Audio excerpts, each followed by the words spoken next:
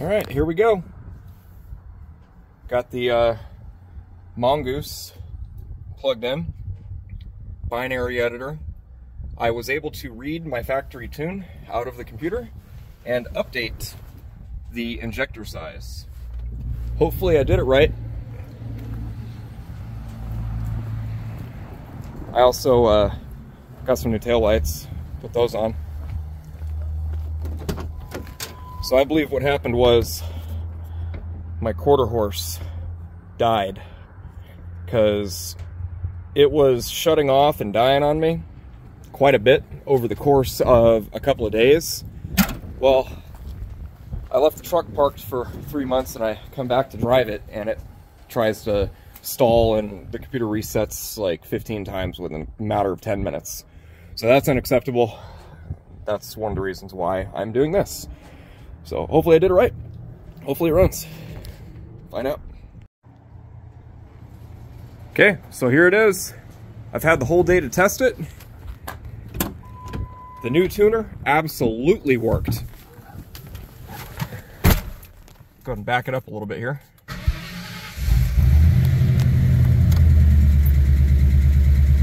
Fires right up. Oil pressure is good wait for those oxygen sensor heaters to come on. Uh, I'm going to be working on the theft light on the next version of the tune, so that'll be coming soon. Wait for that last heater. There it is. Okay.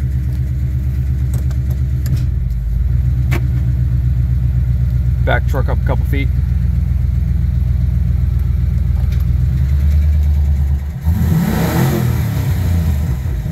It's running good. It's running real good. I like it. All right, let's get to that tune. All right, so uh, lighting is almost done over here at my dad's house. My dad, do a bit of a light check. Going hit the parking lights? So not headlights, just parking lights.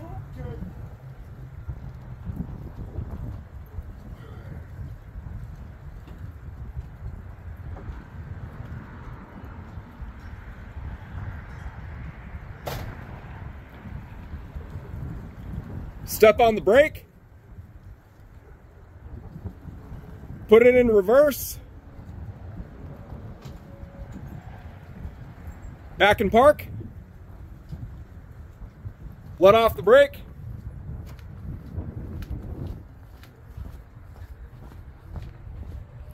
Headlights.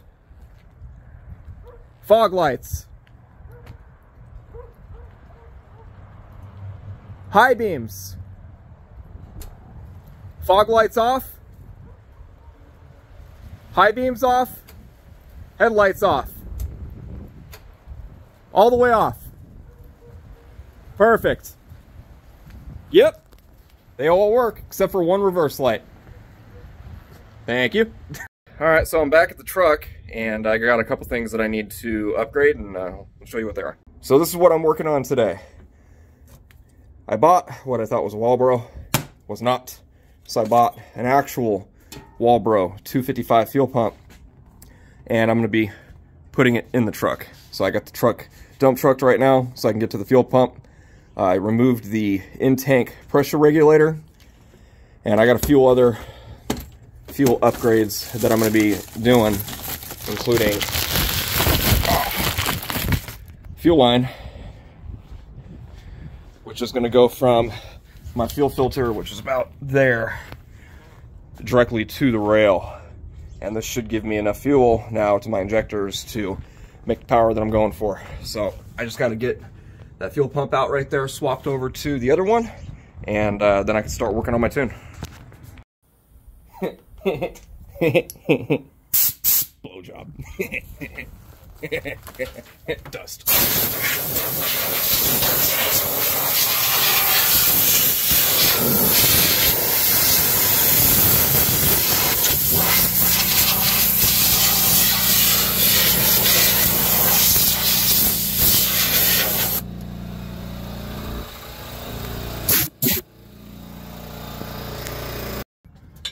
Here we go. Let's get that fuel pump out. And you can see why I need to do this fuel pump upgrade.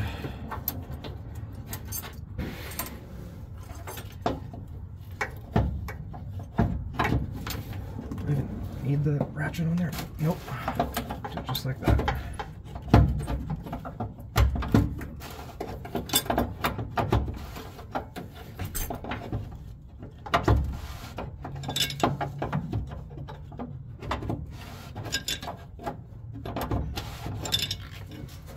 special tool.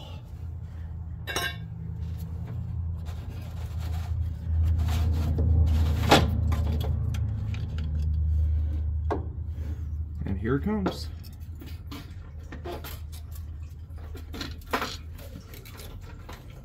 Come on, cooperate. There it goes.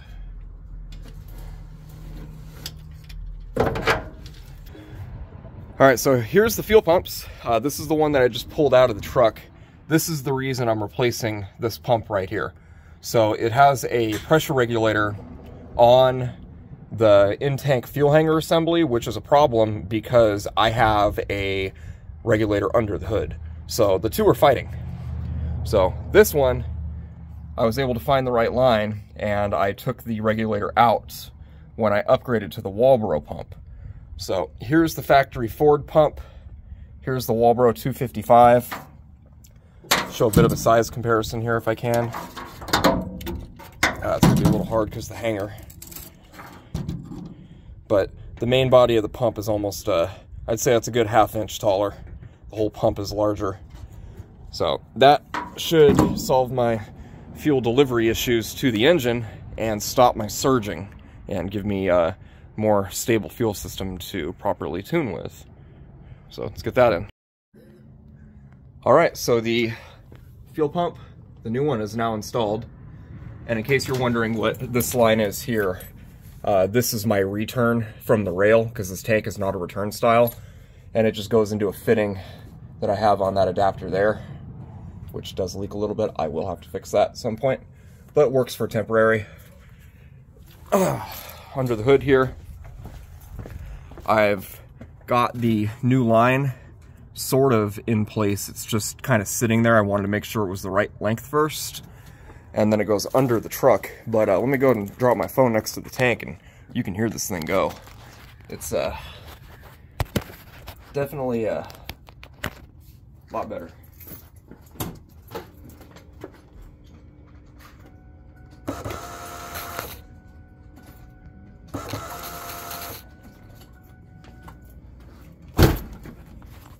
So that is a Walbro 255 in tank installed. I did have to replace the uh, strainer. I was able to find a new one.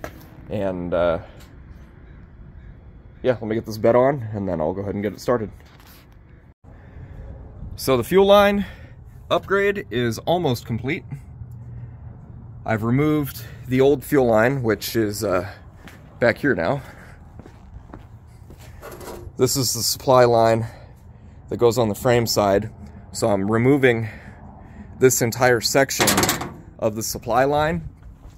And one of the main problems that I was having is the fuel lines where they come up from the frame right here. This line was kinked. And because of that, it was losing fuel pressure. So I'm completely bypassing this entire section of line because it's damaged with this new line right here. Now I just have to make a couple brackets one to kind of keep it away from the firewall right there, and another one to keep it away from my steering shaft down in there. Um, I still need to remove the old pressure line from the frame. So I've already got this shield off right here. So that'll pop out from there. And then under the truck,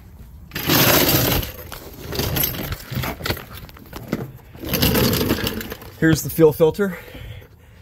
And you can see the fitting there that I've used and it comes up. I have to secure it to the bracket to keep it out of the drive shaft right here. And then you can see it going into the heat shielding there. So now I just need to remove that fuel line, the old one, and then that should give me enough room in that shield. And then I can uh, do a fuel pressure test on the truck. So here's the fuel line I've removed from the truck, and this right here is the reason why I was having problems. Fuel line should not do that. Or that. It was Z-kinked on the frame like this. That's why I was having erratic fuel pressure. Problem solved. Funny thing is, on the fuel filter side of things, same issue. So new fuel line will take care of this. So here I am at the computer. Now that I fixed the fuel system, I uh, took it out for a test drive and 100 miles and it did well. So now here I am comparing mass airflow tables between my tune and Gary's tune. And I think I have it now where I can probably load my tune to the truck and it should run. Uh, let's find out. Okay, so here's the setup. I have the laptop plugged into the truck. Here's my mongoose. Here we go. This is Gary's tune.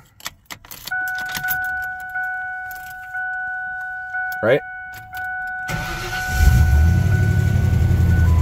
Starts up and runs. This is what I've been running, okay? So now what I'm gonna do, oh, I hate that thing. Hold on, I need to sit in the truck and turn the dome light on. I said dome light on. On. Oh, fucking thing. Okay, I'll just use the map lights. That one, that one, that one, and shut the. Okay, I can still see. Good. So now what I'm gonna do is I have the tune here so I have Gary's tune on the right. I'm going to go ahead and close that. And I have my tune here on the left. So now I can write. There are no write tokens of it. Wait, what? What? What? The fuck are you talking about? There's no write tokens available. What the hell? I made this tune. Hell no updated. and Oh, shit. Okay, what about read? Can I read?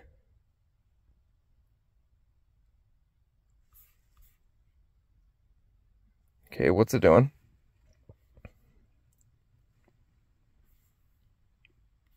Okay, I don't want to do that. No, I don't want to proceed. Okay, I need to figure this out. Hold Okay, so I accidentally figured it out, and now it's writing.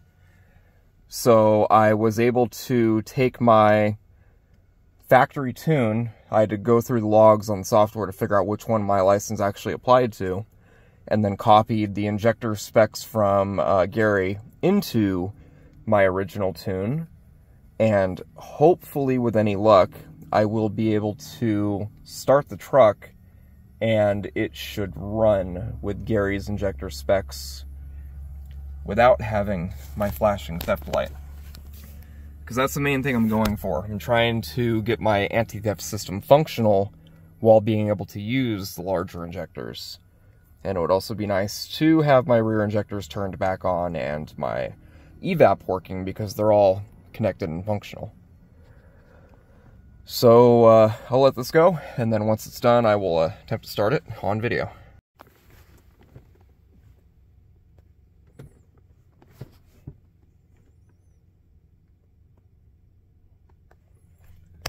It's also uh, to note that bank 2 is showing leaner than bank 1 without starting the truck. Tells me I have an exhaust leak where air is making it to the wideband. I'll have to note that. Still writing, should be finishing any second now. Okay. Computer is resetting. Turn key off. Press OK.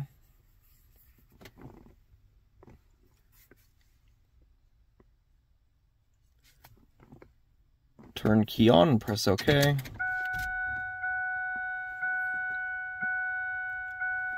turn key off, press OK.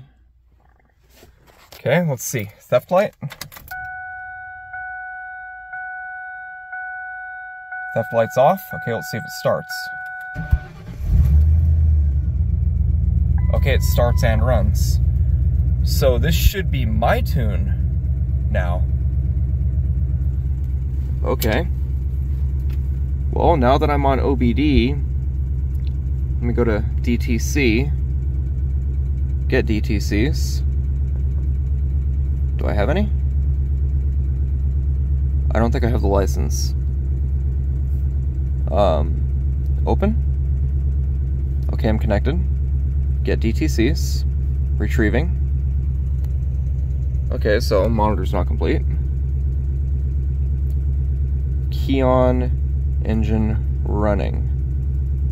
Yes. Oh. Oh. Okay, so it's running the test. Cool. I was not expecting that.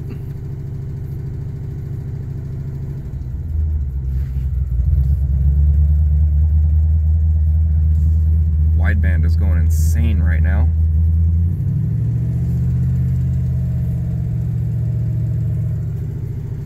Whatever the test is doing.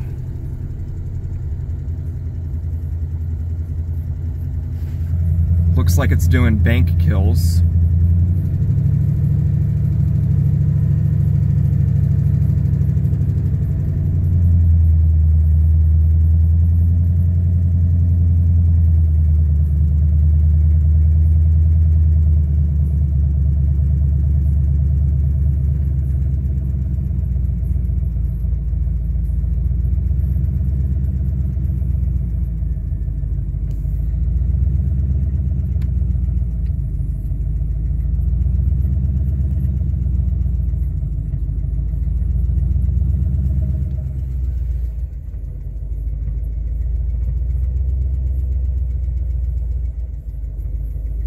Yeah, see, it never told me to do the brake test. Yeah, see, I didn't know that. Okay, so what DTCs did I get out of that? None? Okay. All DTCs? Okay, only supported on... The, okay, so that doesn't matter. Okay, functional tests. What can I do? Whoa. Firing or... What? Hold on. No! I can do a power balance test? Make sure it's in park, the brake is set, okay. Moving the throttle may skew the results, okay, and go. Polling started, okay, is it gonna do something?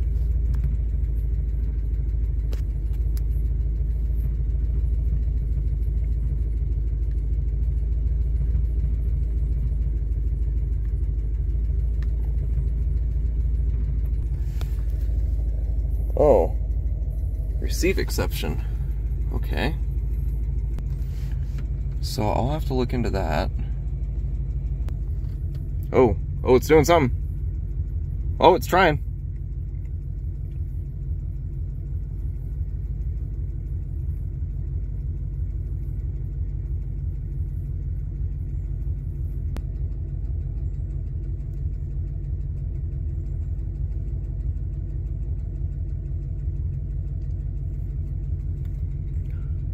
Okay, so what did it read? Okay.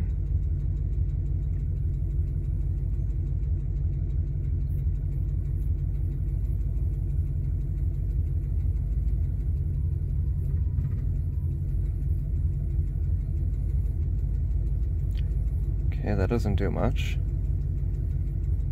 Okay, get DTCs. Okay, so it's just a readiness test. But I think my fuel is set now. Let's see if it has a bog. No, it doesn't. Oh.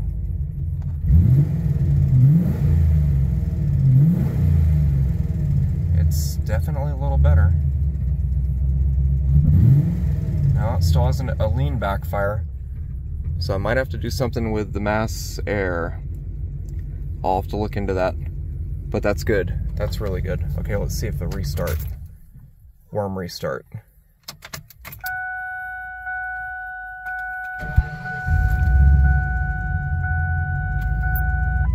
It's got a warm restart. Okay. I'm getting somewhere. This is awesome. I'm learning how to tune. Hell yeah. Sweet. Now I just need to get my dashboard working again. Is my dashboard still broken? Yes. So I'm gonna have to reset all of these parameters to my dashboard so I can actually view it. Wait, what if I hit start? Nope, nothing. Nope, nothing. Wait, maybe it's doing something.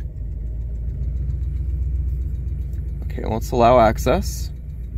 I don't know why it's fucking with my firewall. Start. Yeah, no, it's not working. Oh, wait, maybe. It's trying. And nothing.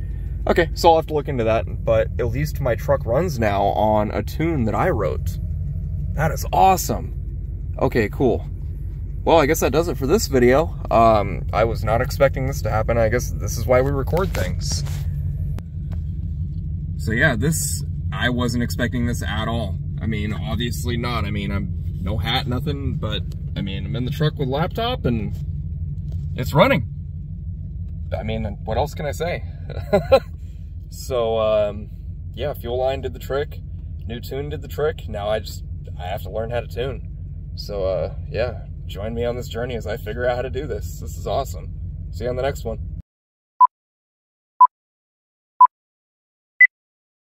Look at your. Uh, I'm doing a video. Damn it! right when I hit record. Do it again, do it again. Ready?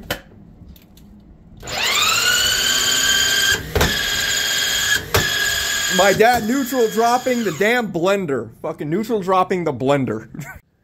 okay, so here's the setup. I have the laptop plugged into the truck. Uh, can't see it.